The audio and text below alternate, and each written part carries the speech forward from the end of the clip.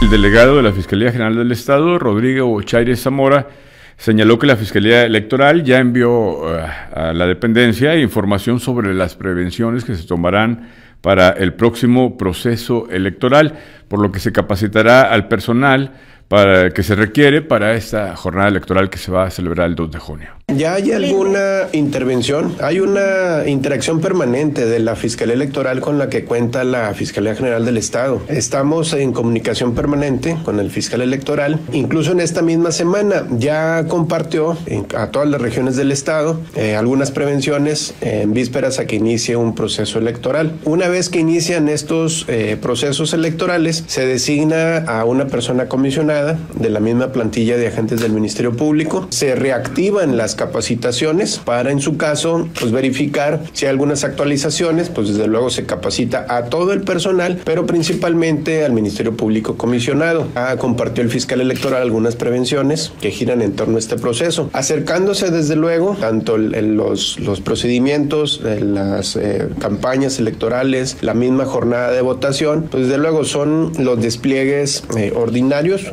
considerar ya tradicionales, los puntos de atención igual ya todos conocemos aquí en la ciudad. Por lo pronto nos estamos preparando en cuanto a actualizaciones, en cuanto a algunas eh, situaciones que ha considerado el fiscal electoral y el fiscal general, de los cuales debemos de estar atentos. ¿Y se le solicita alguna este, medida de protección hacia el candidato?